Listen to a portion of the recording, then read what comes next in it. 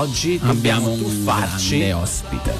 con un grande ospite dobbiamo andare a parlare di e-commerce e lo faremo con uno dei massimi esperti in Italia sul tema. Siamo contentissimi di ritrovarlo a Cultura Digitale, CEO e founder di e-commerce school, consulente, formatore, imprenditore e autore, Francesco Chiappini. Bentornato a Cultura Digitale e benvenuto live insieme a noi a Cultura Digitale. Ciao Francesco.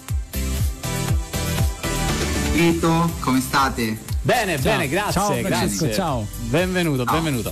Allora, Francesco, par- partiamo subito e parliamo di, eh, di e-commerce. Approfittiamo della tua esperienza proprio per condividere un po' di cultura digitale sul tema.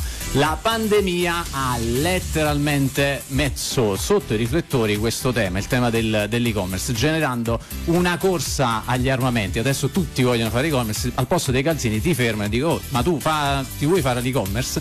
Eh, e quindi ci vedono una possibilità di rilancio per le aziende. Quali sono i consigli che senti di condividere con gli imprenditori che ci stanno ascoltando e che vogliono iniziare a vendere online?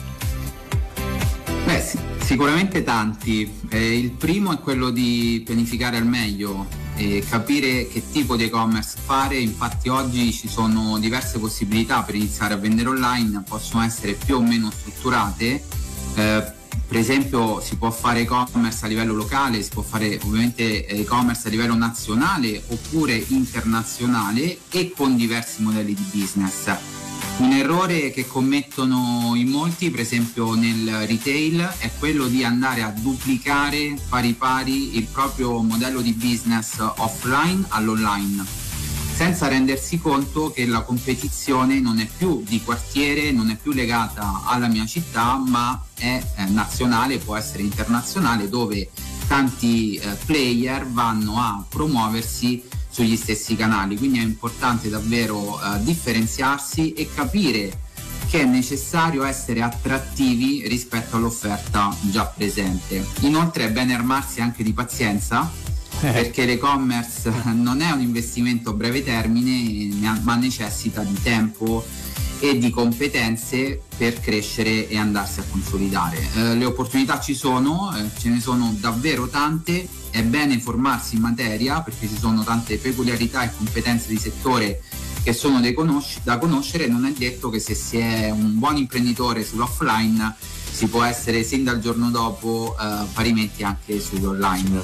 Infine consiglio eh, di considerare degli opportuni investimenti, specialmente su progetti più strutturati o su larga scala che necessitano appunto di tempo e budget per portare risultati e non seguire necessariamente le mille sponsorizzate ed offerte low cost che promettono risultati molto facili ma che sono poi molto molto difficili da, da ottenere. Ecco, infine un- un'ottima gestione aziendale eh, della cassa, quindi parliamo proprio di, di- di impresa e di gestione aziendale, la scelta dei fornitori, del team interno e delle tecnologie che si andranno poi ad implementare sono altrettanto importanti appunto per una corretta startup. Ce ne sarebbero tanti altri, ma mi fermo qui.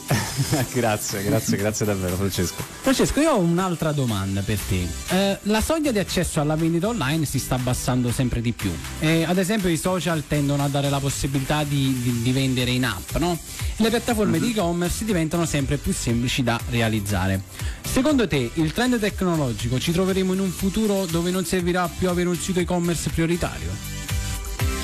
Ma già lo è nel presente in realtà, non solo i social network, ma in generale tutti i big player oggi si stanno trasformando in ecosistemi dove il loro obiettivo è quello di non far uscire eh, l'utente da questo ecosistema e all'interno offrire tanti servizi, insomma basta vedere Amazon anche come si sta muovendo con eh, tutti i servizi che eh, continuamente eh, innova e inizia ad erogare al di là dell'e-commerce. Molti di questi contenitori ovviamente all'interno offrono anche la possibilità di acquistare prodotti.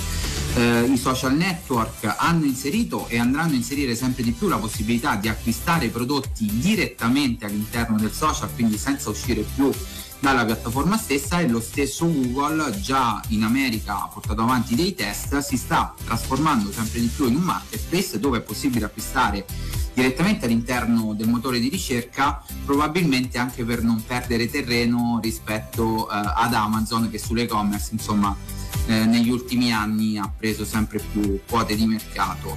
Ehm, ecco, altri concetti importanti è quello legato al fatto che ehm, se vogliamo solo vendere le opportunità sono tantissime. Oggi non ci serve un sito web perché possiamo vendere per esempio attraverso i marketplace, ce ne sono tantissimi sia in Italia che in tutto il mondo per farlo però, anche se non abbiamo un sito, abbiamo necessità di avere un feed di prodotti, eh, tradotto un catalogo digitalizzato che ci possa permettere appunto di essere presenti su questi contenitori, ma stiamo parlando di pura vendita. Se invece l'obiettivo è quello di eh, creare impresa nel medio-lungo termine e quindi di lavorare sul proprio brand, allora è necessario avere un sito, portare traffico sul proprio sito attuale e cercare nel tempo di fidelizzare sempre di più gli utenti. Per chi vuole fare impresa nell'e-commerce, l'obiettivo finale deve essere quello che l'utente quando arriva sul vostro sito ci arriva perché ha cercato e trovato il vostro nome, brand, e non perché trovava un prodotto e voi vendavate tra tanti quel prodotto stesso. Okay, per finire, oggi le barriere di realizzazione della piattaforma si sono abbassate tantissimo, però la piattaforma è solo un piccolo satellite di tutto l'universo delle attività che dobbiamo implementare quando andiamo a fare e-commerce. Assolutamente sì. Francesco, grazie mille. Quindi praticamente eh, diciamo c'è da presidiare tanti canali e quindi eh, cercare di essere presenti, ma l'importanza è costruire un brand che eh, risponda alle esigenze del, delle persone.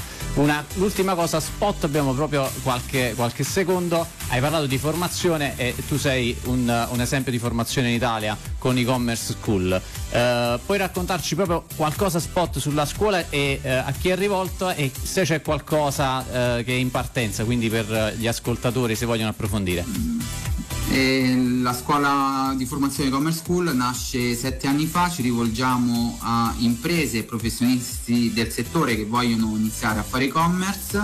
Il valore aggiunto è l'esperienza imprenditoriale che mettiamo all'interno del percorso di formazione. Personalmente mi occupo di e-commerce dal 2002.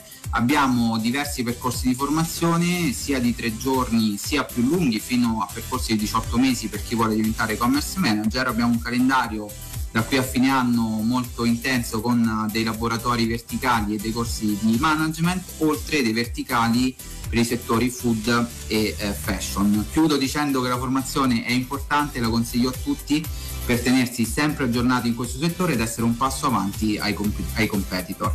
Grazie, grazie mille Francesco. Grazie mille Francesco. Grazie per essere stato a con voi. noi.